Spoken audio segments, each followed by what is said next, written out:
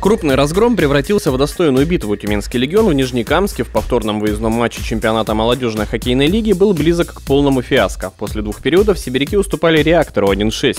Начался поединок для команды Владимира Гусева с абсолютной катастрофы. Уже на первой минуте тюменцы пропустили дважды.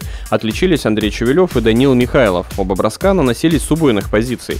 На седьмой минуте Михайлов оформил дубль, и у тренерского штаба гостей не осталось выбора. Вратаря Павла Гущина заменил Алексей Щетилин, который еще до первого перерыва пропустил от Марка Толкачева. Правда, и легионеры к тому моменту сумели забросить. Большинство реализовал капитан Александр Головин, оформивший свою одиннадцатую шайбу в сезоне. Второй период тоже не обнадежил выиграл. Дубль у реактора оформил Чевелев. Автором шестой пробоины в обороне Легиона стал Максим Полькин. Казалось, задача гостей на третий отрезок станет не позволить нижнекамцам сделать счет двузначным. Но у тюменцев на полную заработало большинство. За предыдущие 30 с лишним матчей они отличились лишь 9 раз, имея численное преимущество. А в этой встрече добавили еще 4 шайбы. К заброшенному в первом периоде голу Головина в заключительном отрезке добавились два точных выстрела защитника Максима Богданова и красивая комбинация, которую броском в пустые ворота завершил Андрей Коваленко 6-4. 4, после чего уже хозяева сменили вратаря и полноценный камбэк гостей предотвратили. Следующий матч Тюменский легион проведет 7 и 8 декабря в Альметьевске против «Спутника».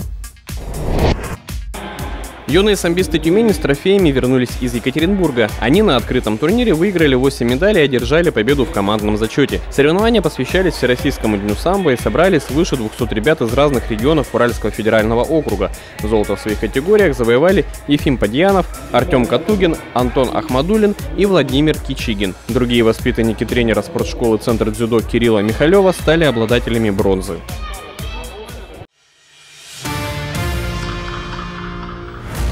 Хоккеисты Рубина продолжили победную серию в рамках чемпионата ВХЛ, обыграв на домашней площадке ХК Ростов.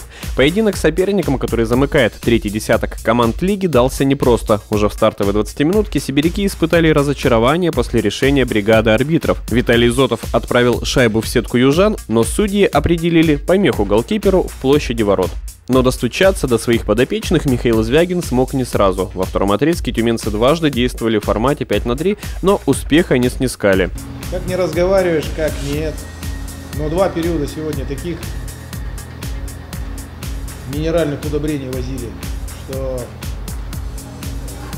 ну, в принципе такой же, такие же матчи у нас были и с Рязанью там и так далее, и с Пензой там, да, со всеми. А потому гневу наставника не было предела, когда гости вышли вперед. Андрей Алексеев воспользовался пространством в свободной зоне и отправил шайбу в дальний угол.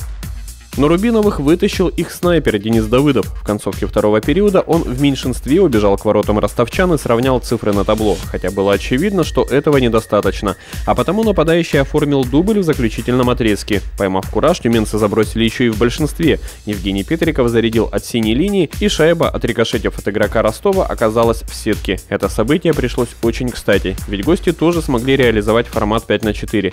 На пятаке преуспел Василий Микинин. Волевая победа сибиряков 3 2. Конечно, довольны. Начинаем домашнюю серию с победы. Э, дома последний раз давно играли, поэтому всех с победой. Болельщиков спасибо за то, что сегодня пришли. Довольны. В следующий раз тюменцы выйдут на лед 7 декабря. Их ожидает матч с Воронежским Бураном.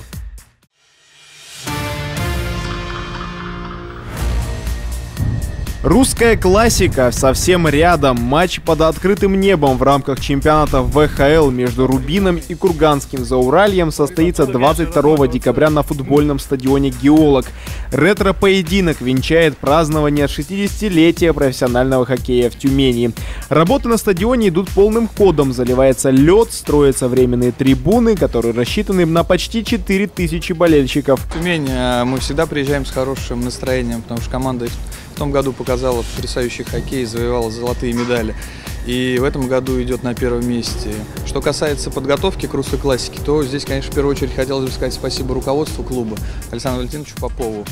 А, потому что все вопросы решаются оперативно. Удобство болельщиков – приоритет организаторов, поэтому с любого места будет открываться великолепный обзор на лед. А организацией прямого эфира займется агентство спортивных новостей «Тюменская арена», которое покажет русскую классику на Матч ТВ, КХЛ ТВ и Тюменском времени. Болельщики все помнят, они с удовольствием приходят, приводят своих детей, смотрят, как это все происходит. Это настоящий праздник, это все, конечно, все для болельщиков. Русская классика пройдет восьмой раз в истории, поэтому праздник праздник не ограничится встречей Рубина и Зауралья. За день до ее начала на лед геологов в галоматче выйдут ветераны лиги и тюменские звезды хоккея. Казани прошли соревнования по спортивной гимнастике «Олимпика Кап». Представительница Ишима Юлия Маджара, выступавшая по программе второго разряда, выиграла сразу пять медалей. Она взяла золото в опорном прыжке и вольных упражнениях. Серебро заработала в соревнованиях на брусьях и бревне. В совокупности эти результаты позволили ей стать второй в многоборье. В соревнованиях по третьему разряду Елизавета Струнина стала лучшей на брусьях. София Яковлева и Анна Ключникова в упражнениях на бревне взяли соответственно серебро и бронзу.